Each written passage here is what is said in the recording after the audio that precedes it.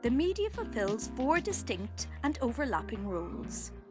The monitorial role, or watchdog, that gives a so called objective account of reality and checks the powers that be. The facilitative role combines aspects of social responsibility and participation, supporting deliberation and diverse voices.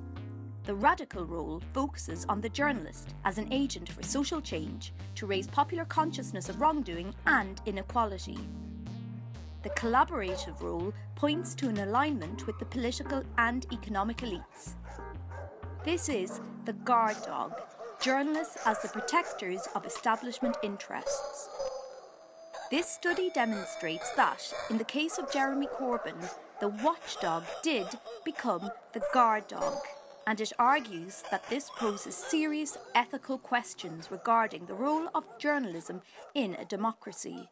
During the period of analysis, more than half of all news articles were either negative or antagonistic towards Corbyn, and two thirds of all opinion and editorials were negative or antagonistic in tone. As you'd expect, there's an ideological bias with the right wing media being more acerbic and scornful, mocking gleefully, and attacking Corbyn on a personal level.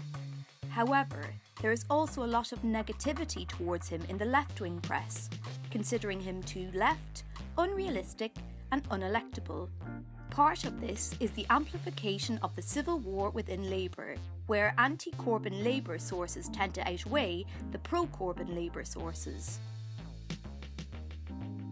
Even in left leaning newspapers such as the Daily Mirror and The Independent, discrepancies can be observed. The most problematic result from the research is that the British media has actively set out to delegitimise the leader of the largest opposition party in the UK. This was done through scorn, ridicule, and personal attacks, but above all by strongly associating Corbyn with condoning terrorism and depicting him as a friend of the enemies of the UK. Almost 10% of the articles relating to Corbyn had a reference to Iran, Hamas, Hezbollah, IRA, or terrorism in general. This was especially the case in the Daily Telegraph, the Daily Express, and the Sun. Linked to this was the strong depiction of Corbyn as a danger or his ideas as dangerous. Furthermore, in more than half of the articles on Corbyn, his own views are missing. However, when his views are reproduced, they are very often taken out of context and distorted. As a political transgressor, Corbyn must expect the dogs of the media to bare their teeth.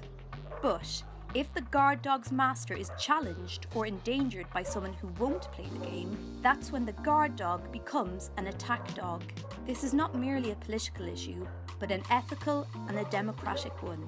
The attack dog delegitimates any voice that contests the neoliberal status quo, which is presented to us as common sense.